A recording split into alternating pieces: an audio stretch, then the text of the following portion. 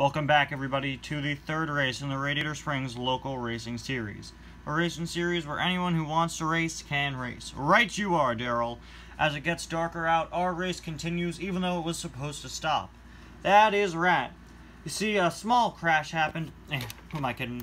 A major disaster on the track happened, and, um, it caused most of our racers to be injured. That is right, and we were supposed to call off the race. However, the racers, including those who crashed, all led by TJ, started saying that we should finish the race. They started demanding it, chanting it, and now we are going to. Or rather, we have been. Yeah, they, they've been racing for like five minutes now. Let's cut back to that camera.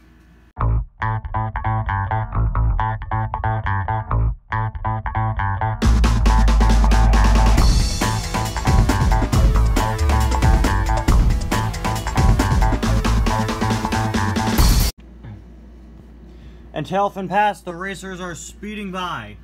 And the landscape of the race has changed a bit due to the removal of the racers who crashed. Dexter Hoover has moved up very close to the pack of racers. And Aaron is right behind Manji. Sally, unfortunately, was one of those who crashed. So, now, there's a little less competition between the race cars. Rex Revler was also removed, so that's one less professional racer in the race. Billy Oil Changer is doing a surprisingly good job. He's doing pretty well with keeping up. Meanwhile, Francesco and Lightning are in the lead. Okay, I take that back. Meanwhile, Danny Swervez is in the lead. Now, while those cars continue, I'd like to direct your attention to a very special car in the race. He's green, he isn't a professional racer, but he's pretty good at racing, and he is very well liked by our viewers. That, of course, is TJ. TJ has kind of uh, gotten a bit of a following throughout these races.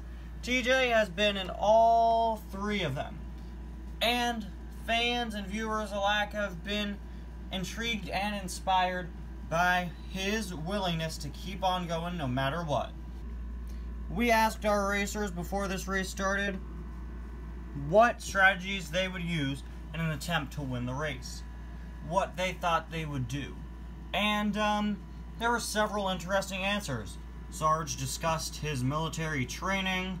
Smokey discussed um, all the different things he's taught as a crew chief and applying them here. And the mime pretended to be stuck in a wooden crate. But TJ, TJ said something very interesting. He mentioned that he had been trained by Lightning and had learned all the famous moves of the fabulous Hudson Hornet. Danny Swervez is the first racer to reach the top of the cliff. All he has to do is drive off of it and land, and he will be first place. Not so fast, Mr. Swervez. Not so fast, Mr. Swervez. Not so fast, Mr. McQueen. Not so fast, Mr. Oil Changer. Not so fast, Mr. You know what? This is really stupid.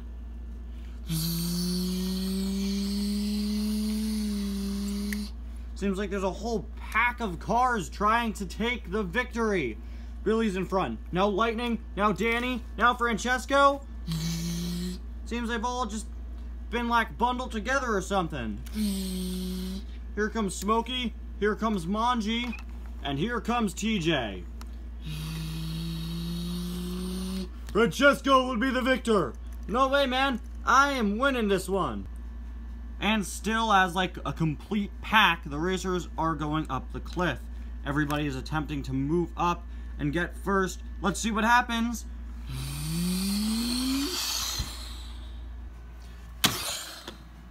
TJ is the first to land!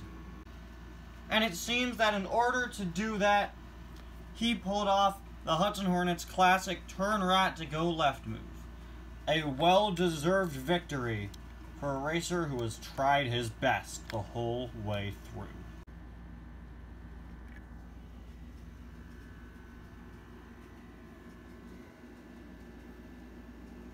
Mm, Whew. Man, Oh. Oh, man. Crash. I feel like I gotta move. Hmm. Gaskets. The track time treat. Gaskets. The track time treat. Gaskets. The track time treat. Gaskets. The track time treat.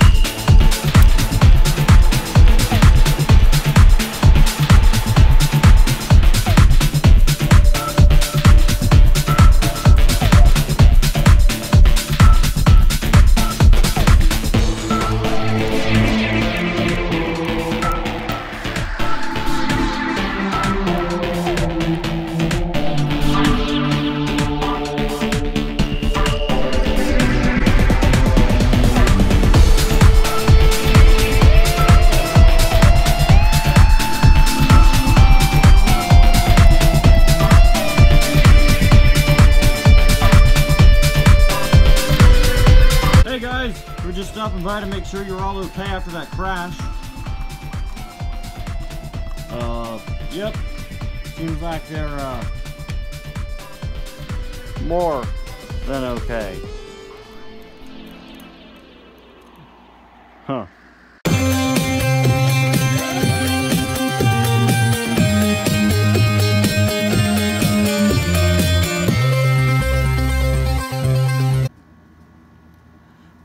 Am an enigma, a mystery.